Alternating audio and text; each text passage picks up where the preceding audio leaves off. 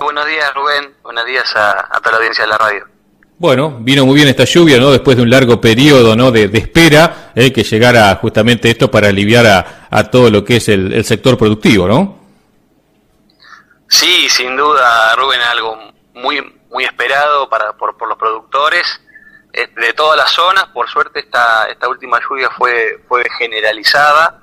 Este arrancó ya la semana pasada con, este, más tímidamente con algunos milímetros este, eh, algo menor, pero ya entre la lluvia de la semana pasada, la del sábado y, esta última de ayer, eh, se han sumado unos cuantos milímetros. Yo este, registré de las consultas que fui haciendo, este, Arenales eh, sumamos, se sumaron unos cerca de 60 milímetros, 59 milímetros, este, Ascensión en total unos 66 milímetros y Alem tuvo un poco más de, agua este, y está alrededor de los 80, 82 milímetros, así que este, en, en, los últimos 10 días, así que es una muy buena agua y necesitada este, para, por, bueno, que veníamos de, prácticamente tres meses sin, sin lluvias.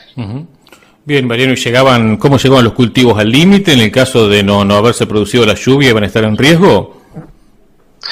Bueno, lo, comentamos eh, la última vez que hablamos, es la, un poco, eh, no solo, es decir, los cultivos en general de nuestra zona, y refiriéndome más puntualmente a lo que es Arenales y Ascensión, este, y podría incluir Alem también, estaban todavía en, en un estadio, digamos, que mm, podían aguantar este, la, la, situación. Este, hago la, la, delimitación de zonas porque eh, aclarando que sé que otras zonas más de más al, centro de Santa Fe, sur de Córdoba, que estaban muy complicados de, por la falta de humedad y, que sí tuvieron pérdidas concretas este, de, plantas y, y, obviamente de potencial de rendimiento. En nuestra zona estábamos, por, por suerte, en una situación un poco crítica, pero que en principio podríamos pensar que no hay, no va a haber pérdidas de, rendimiento, pérdidas de de los potenciales.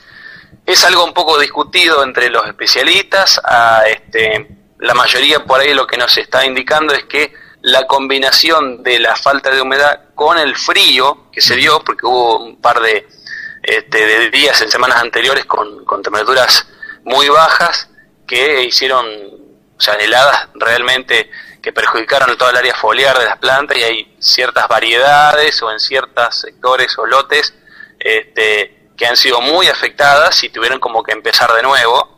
este, entonces esa combinación de frío más, este, más falta de humedad, que obviamente el frío por un lado destruye lo construido por el cultivo, toda el área foliar generada, los macollos que se habían formado, este, pero como el ápice está debajo de la tierra, en este periodo de macollaje, la planta vuelve, eh, se recupera, rebrota, saca nuevas hojas y este, la tasa de renovación de hojas, este, entonces el cultivo es como que no tendría problema en ese aspecto. Ahora bien, la falta de humedad lo que generaba era que el cultivo no es tan apto para recomponer toda esa área foliar que había perdido. Este, o recomponer de la misma manera o con la misma velocidad este, los, los macollos que, habían muerto. Algunos especialistas lo que nos dicen es, bueno, normalmente siempre hay mucha generación de macollos y no todos son fértiles, mejor dicho, no todos llegan a dar una espiga, por lo tanto, no tengamos miedo que la planta este, se va a recuperar y va a dar nuevos macollos que den espiga. Pero bueno, en ese caso hay que analizar la situación lote a lote porque hay, hay lotes que sí han perdido muchas plantas. Este, o porque ya venían un poco ralos de, base este, y, esta pérdida por ahí los perjudique o no, pero bueno, es como que por ahora no tendríamos todos los elementos para poder decir este, no, no hubo pérdida de potencial, este, así que vamos a ver cómo se desempeña la campaña. Esta lluvia por lo pronto viene a darle una mano a ese trigo afectado por el frío para que empiece a trabajar y a generar nuevas hojas. En consonancia con esta nueva lluvia, muchos productores empezaron a, eh, que estaban en duda si refertilizar o no, este, ya lo, lo estuvieron haciendo, hubo muchos despachos de urea en estos últimos días, este, por los, justamente porque el productor estaba como a este, en duda si hacer o no esas refertilizaciones y bueno, finalmente con la primera agua de la semana pasada se decidió y por suerte muchos fertilizaron previo a esta lluvia y que, incorpora ese nitrógeno que, que, le va a venir muy bien justamente para esto, ¿no? Para recuperarse de esos fríos, para eh, generar nuevos macollas, nuevas estructuras vegetativas este, y seguir para adelante. Bueno, así que genera un alivio entonces en, el trigo y seguramente también este eh, un panorama alentador con vistas a mantener la humedad este para, para lo que va a ser el maíz también, ¿no?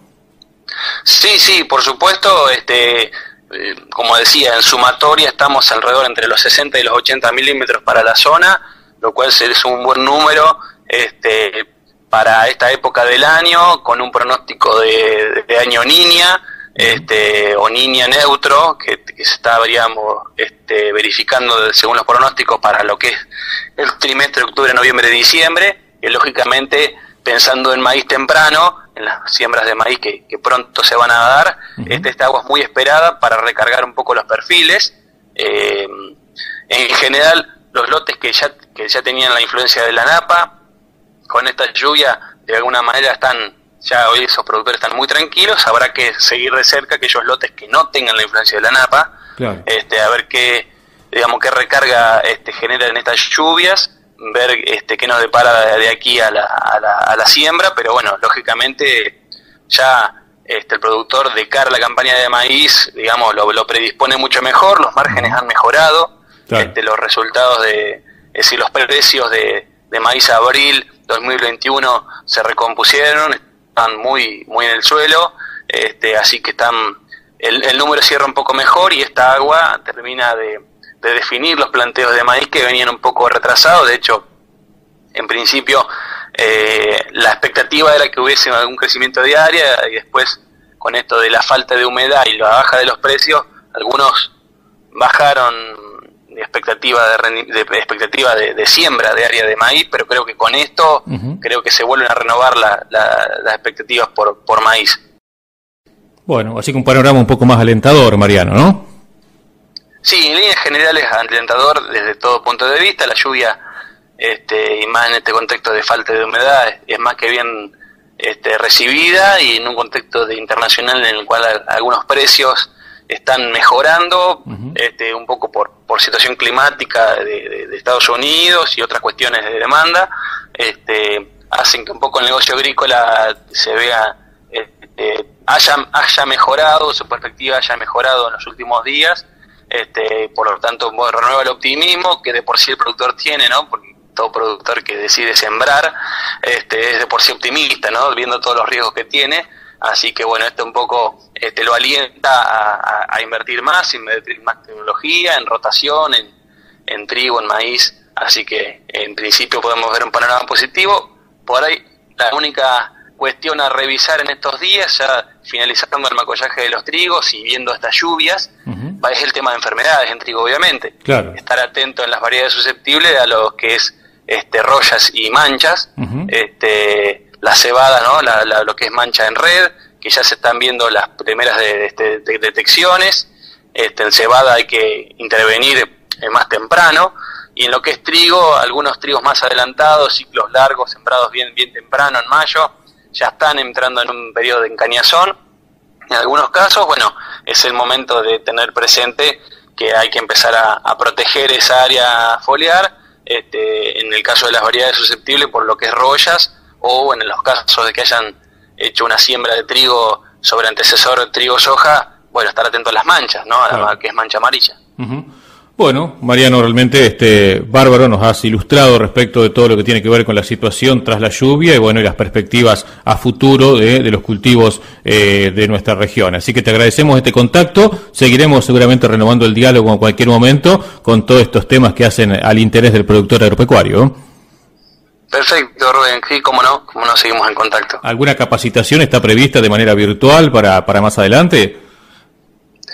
Mira, en estos últimos días estamos haciendo muchas capacitaciones de forma virtual, como decís, este, para lo que es el equipo técnico. Claro. Este, de hecho, tenemos una hoy a, las 2 de la tarde, este, con algunas, este, algunos proveedores que nos, aprovechan a mostrarnos la, su paleta de productos. Tuvimos una el día, de, el día martes también a la tarde este, y por lo pronto no tendríamos prevista que lo que es capacitaciones este, virtuales para los productores, eh, por lo menos en, lo, corto plazo, me refiero a capacitaciones técnicas. Lógico, lógico. Este, sí, sí. Y, pero bueno, hago un comentario que me, que me, hiciste recordar en cuanto al tema de los, de los productores seguramente ya lo has contado en la radio, sé que, has entrevistado a, Leo Rae, por el tema de eh, la semana que viene, el día lunes, que se van a estar recibiendo los bidones, los productores en la planta de Arenales, en la cooperativa, en la planta de las el de Arenales, mejor dicho. Correcto, sí, sí, realmente muy importante, ¿no? Para este poder, este, de alguna manera reciclar todo lo que tiene que ver con este, los envases de, de fitosanitario, ¿no? Claro, es una buena oportunidad, nosotros decimos, para este, en principio, todo esto surge de, una serie de reuniones que se fueron haciendo entre varias agronomías de y agronomía, ¿no? comercios distribuidores de, insumos en, del distrito, con el municipio y con este, entidades públicas este, de, la provincia, como es OPDS, eh, entidades, digamos, como Campo Limpio. Eh, entonces, la intención a futuro es la de poder tener un CAT, un centro de acopio transitorio en el municipio, para que el productor tenga mayores facilidades para la entrega de ese bidón este, una vez que lo utiliza. Este, y, digamos, como una de esas acciones de este, de este, este grupo de trabajo, está en primera instancia esta, estas campañas itinerantes para generar conciencia, para sacar el tema a la luz, para para involucrarlos a todos en la responsabilidad que tiene el productor de cumplir las normativas vigentes, la ley vigente, que tiene que entregar ese bidón una vez que lo utiliza, en un por a través de estos medios circuitos legales que decimos nosotros, porque bueno, no le tiene no tiene permitido el productor el, quemado, enterrado, este comercializar ese bidón, este más que nada, y la intención es eh, abarcar un circuito legal de ese bidón por el destino final que va a tener ese plástico que eventualmente puede ser reciclado y ser utilizado para otros, otros productos. Correcto. Bueno, la entrega va a ser el día 7, ¿no, Mariano? El día 7 de septiembre en la planta este, de la cooperativa, en la filial de Arenales, ahí en la, este, en la ruta 50 y las vías del ferrocarril. Bien. Bueno, creo que se nos cortó la... Ah, ahí, ahí te escuchamos, sí, Mariano. Desde las ocho y media de la mañana hasta las cuatro y media de la tarde. Bueno. De todo es el día se va a estar recibiendo. Bueno, ahí se nos corta un poquito el contacto, Mariano, a ver. Ah, ahí está. No, digo, desde las ocho y media de la... Ahí. Ahí, ahí te escuchamos un poquito mejor, a ver si... Sí, sí, ahí sí.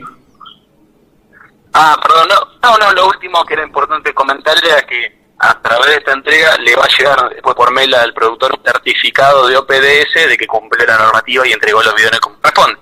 Este, que eso es lo, importante que, le tiene que dar al productor, es que no es que lo entregue y nada más, sino que le va, va a tener un certificado de que pudo este, hacer la devolución de forma correcta de sus bidones. Perfecto, recordamos el horario que nos salió muy bien. Ah, perdón, sí, lunes 7 de 8 y media de la mañana a 4 y media de la tarde. Durante todo el día prácticamente se van a estar recibiendo los bidones. Perfecto. Bueno, Mariano, un gusto como siempre, entonces nos vamos a estar reencontrando en cualquier momento con más novedades para el sector, ¿eh? Bueno, muy bien, muy bien, Rubén. Nos reencontramos, ¿eh? Hasta la próxima. Hasta luego, hasta luego.